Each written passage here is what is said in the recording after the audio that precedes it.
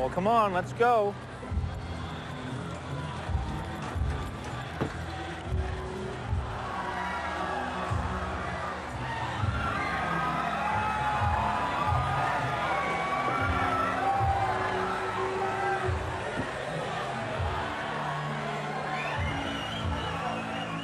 Dave loved music, and if he wasn't going to be a guitar player in a band, he was going to be involved somehow. We were sort of making a living, uh, keeping body and soul together anyways.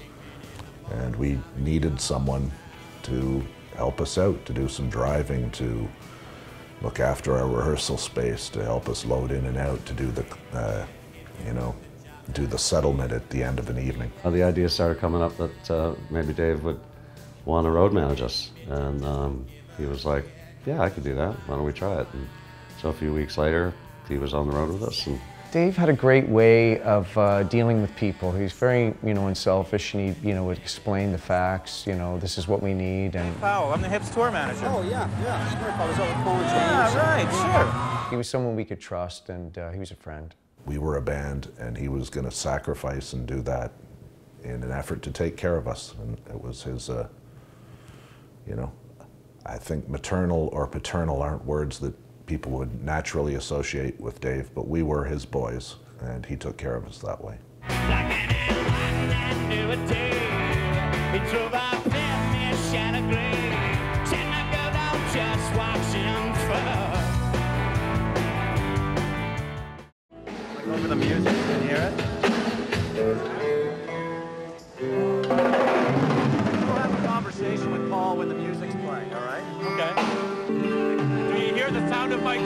tongue wagging? See the uh, people up on the hill? Yeah, that's great. I bet you it'll be packed up there. Yeah, I think so. That's where I'd be. Heard about Davey Allison? So he was 25 feet off the ground when he went down, you know? He was just like hovering, like, no choppers for us, I'll tell you. obviously he's smart and he knew a ton about music and funny. And he just, uh, he just seemed like one of us uh, very quickly. First five things on the list are things that are gone. Yeah. You're a police officer, Ryder? Rotor. Rotor? What things got ripped off out of the van? A couple of guitars, drum machine, all sorts of miscellaneous equipment. You know, the one thing that didn't get ripped off were our hip tapes. Good thing, too. But this is our sixth time in New York and our fourth time being ripped off, so it's pretty par for the course. We had a car stolen the last time we were here, so we're true New Yorkers. Uh, you know, another notch on the old crime belt. We get it all back in insurance as long as we get the police report number. So, Uh, I don't have any insurance. no, not on that stuff. Uh, zero. On any of your stuff? Drums or No. anything? Never actually got it. Young man, how many times have I told you? Yeah, I definitely do not have any insurance. Happens quite often, and they're not going to get this stuff done. I think in the early days when he first started, um, you know, you wouldn't know it, but it's it's a bit of a steep learning curve to road manage. You know, there's a lot to it. Um, I think a lot of it came very naturally to him. You know, he was um, socially gifted. Um, but one thing he hadn't really thought of or done before um, was uh, clearing a room after a show. Our manager at that time, Jake Gold, um, I believe Dave would credit Jake with uh, telling this, but he's like, you got to learn how to clear a room because we would have, you know, so many people backstage and friends and um, didn't take much practice for Dave, but he could clear a room like anybody. He would just yell very loudly, "Everybody out!" You know, just would be um, much louder than that, much more intimidating, and we were all like, "Wow, Dave, pretty impressive." And he remained that way for the next eight or nine years that he he was with us. He he uh, that was a moment that I thought where he kind of went from Dave Powell to Dave Powell, top tour manager. I don't, I don't know if you'll be taking the bus over to the site. I don't know if they sussed out parking or not. Got to get some press right now, actually, to sell this show. April Wine really threw a wrench in the works when they announced their tour. So uh, we got to really put it over the top. We're gonna go out into the street with loudspeakers and clown suits. We got to play this afternoon. That's what we got to do. Got to get a flatbed. We have a whole Dave, Dave, midnight oil style plan. I'm gonna run nude through the city of the town. the center of the town. You just might get them. And Dave's gonna take us to McDonald's. Gord, Downie, pimply assed. No, I'm sorry. It's Fuck naked after through ten Prince thirty. William and Fort Yeah. Puget. Is it? Yeah. This place, Time Fort is? William and Port Arthur, Fort William. Port Arthur. Port Arthur. Fort William. What was the original name of it? Well, I think Fort William was originally Fort Kaministiquia. Ham it up for the Got any more camera, gum? would ya? Hiawatha. Um, Key mantle. If, if you Go had a ahead, name, if you had an Indian name, Dave, it'd be two dogs fucking. Wouldn't be anything like Hiawatha. I gotta put it in gear Yeah. first, then it moves. See you, Steve.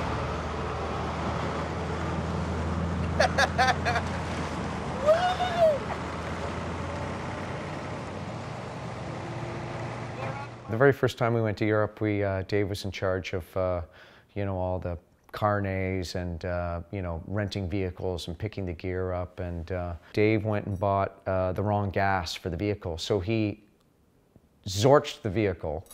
With he put diesel in it when it wasn't supposed to, and then he left it at the side of the road and went and got a new vehicle. When he came and got the band, he would, uh, as we were going over the Belgian border or coming back uh, into Holland, we kept on passing it on this motorway. Uh, Dave would say, "There's that van. Uh, I, uh, I, uh, it wasn't working." And uh, then we, you know, as the story went on, we found out that he had zorched it, but he never phoned the uh, the company uh, to let them know that it was still sitting on the side of the road. And of course, the band got the bill, but uh, that was Dave. We called him Super Euro Diesel Dave. Being on the road is frustrating for everyone. Back in those days, we were on the road for, you know, uh, probably average six to eight weeks at a time. And, and that really, you know, it's quite a traveling every day and, you know, it's a bit of a grind. We spent the better part of two and a half years riding around in this van. It sort of sums up what the band is all about, just sort of meat and potatoes, uh, straight ahead, pile into the van, drive to the next city. We dine at only the finest truck stops, sleeping in only the most luxurious holiday inns, days in, comfort inn. So we toured a lot in uh, Canada and the States, and we toured a lot in Europe um, with Dave. And in Europe, uh, we were in a van, and we'd uh, be playing a bar downtown in a small, old European town somewhere in Holland or Belgium or Germany. Yeah, the streets are one car wide and uh, very hard to find addresses. Uh, there's no uh, GPS to tell you where you're going. You have a, a map in another language, and that was all very trying. Dave would have the map out. I was usually driving. He'd be in the passenger seat with his map, just kind of looking at all the streets, and you know, it's not marked correctly, and just you know, it's crowded, pedestrians everywhere. Dave would just eventually he'd come unglued. He was very patient and he'd try and keep the lid on it, but then the top had blown without any warning. He jumped out of the van. And he would literally jump out of the van and not tell us he was jumping out of the van, but just jump out of the van and he would start walking in front of the van. And he'd be 20 feet in the front of the van, waving us forward like the guy in Monty Python. Follow me, follow me. And he'd uh, lead us down these streets. and of course, we'd all be in the van just killing ourselves laughing. And, uh, but we'd always make it to the gig. We'd always find our way. Didn't mean to be. Dave, you'll make sure uh, the girls can get up on stage? Yeah. The They're security guy wouldn't, wouldn't let ready. me up for uh, Doyle's. That was Willie's instruction. Oh, yeah? Whose fucking show is it?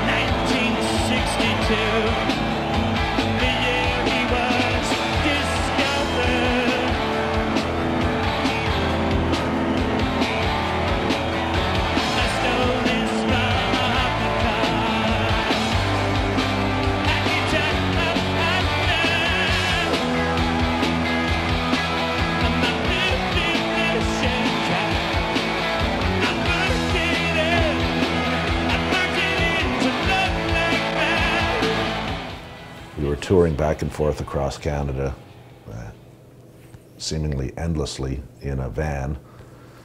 And uh, we dropped into T-Bay to Dave's parents' place. We looked and smelled like a band. I was the short hair in the band at the time. Everyone had the big bushy mane. And uh, yeah, living in a van, our hygiene probably wasn't up to snuff. And uh, we showed up at his parents' place and we had some pictures taken in the jungle room uh, where they had all the uh, hunting trophies. What is it? It's called the Great Great Southern Kudu. From? Oh, that would be from what was then called Tanganyika, now part of Rwanda and Tanzania. But back then it was Tanganyika. Of course, a leopard there. Wow. They baited that with a a leg from an antelope hanging in a tree. Really? That brought the leopard? They brought the leopard, yeah. And he shot the leopard, and of course the bearers were scared to death to go into the woods to the, the high grass to find the leopard. They take sticks and they bang around. The old man practically had to force him at gunpoint to go get the leopard. But then he shot down the leg. He shot the rope that was hanging the leg, and all the bearers thought that that was like the bitchingest thing they'd ever seen in their lives. they didn't have to climb the tree and get it down. That's a, a sable up there, not what you make fur coats out of, but an African sable. Wow. Oh shit, eh? We got the other. We got the games room. And this would be the trophy room. It was quite a place. But uh, his parents were very, uh, they, you know, their arms were open to us. And it was great to see where Dave, the mystery man, actually came from. We, uh, I think we all harbored a suspicion that he was an interplanetary traveler. Dave was in a couple of our music videos, uh, Locked in the Trunk and uh, 100th Meridian.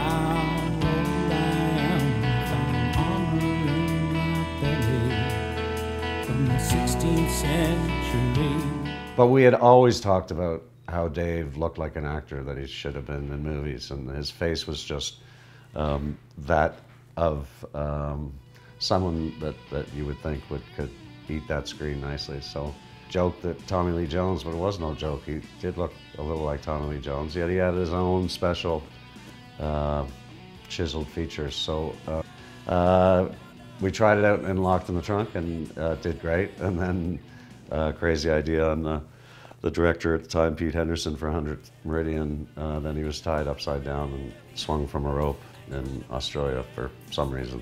I think it's just because he looked like Dave Powell.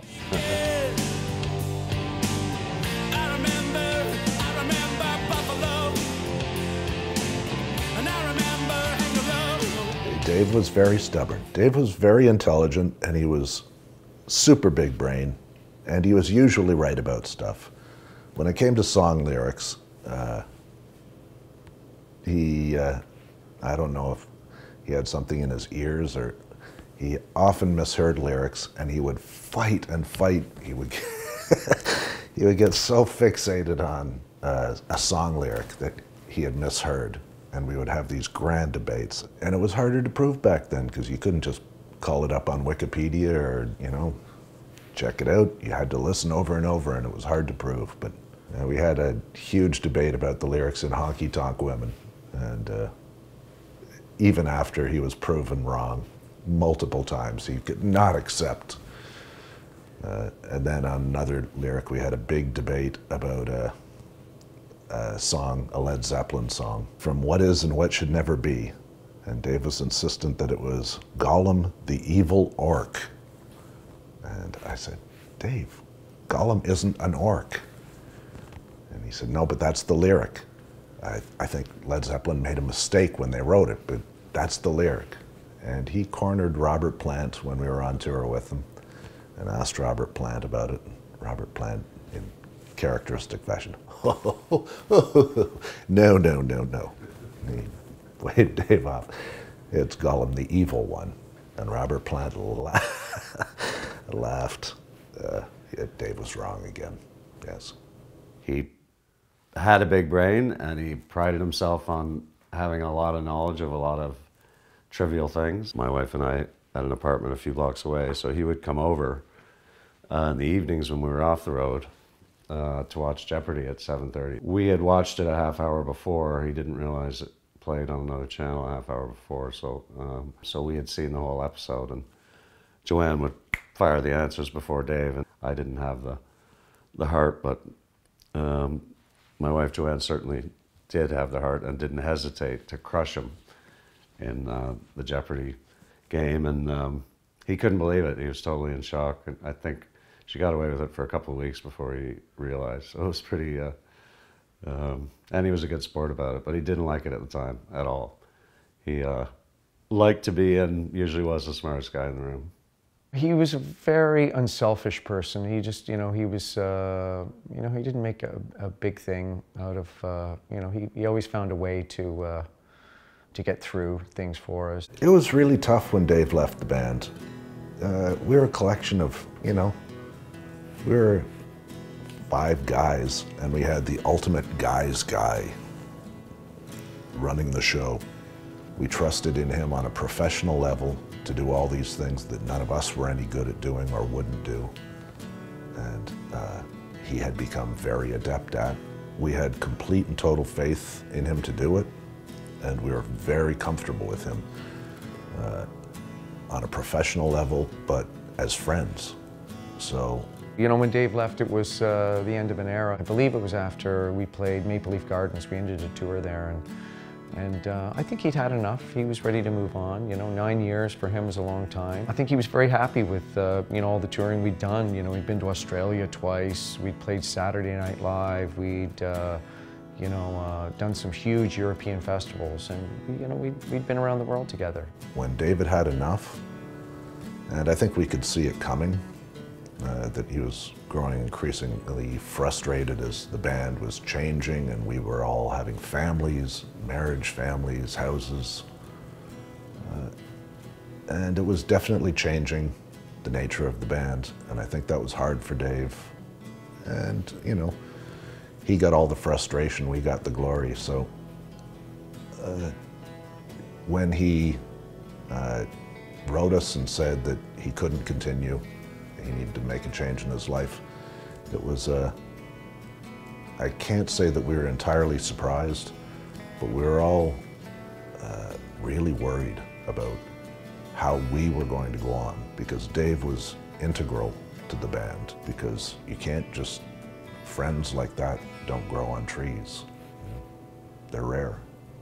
He was a very unique, uh, very funny, very funny guy. Loved to laugh. Always saw the uh, the humor in things, or uh, you know, he had a very infectious laugh. But I'll always um, remember him fondly, and and uh, just the the guy. He's just very interesting. If he was like, you know, and he would just um, mostly tell you things that you didn't know, and I always really liked that about him. And he was funny, great guy. Thought about him a lot, and I know he he would come to town and he would uh, go and see his uh, niece and nephew. He's a great, great uncle. He loved it. He loved uh, his uh, niece and nephews, and and so uh, you're just someone you always wanted to connect with. Certainly loyalty, uh, intelligence. Like he really just had a super big brain. He was a very intelligent guy. Uh, he could be ridiculous and silly and uh, and stubborn as could be. But he was a unique person. He was a man of mystery. He was a, a guy we really wanted to have in our family.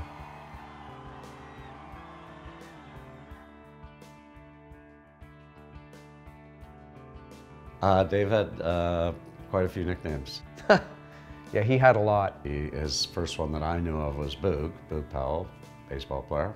Jim, as in Jim Kirk. Diff, Super Euro Dave. Uh, we called him Zell. Uh, Davon Zell. I don't recall if it's the boys from Brazil or Marathon Man, but Zell was, uh, I think, was one of the ex-SS officers hiding out in South America, and uh, He was uh, like a stone cold killer. Dave loved that. he uh, it's fit in perfectly with the Roman aesthetic. The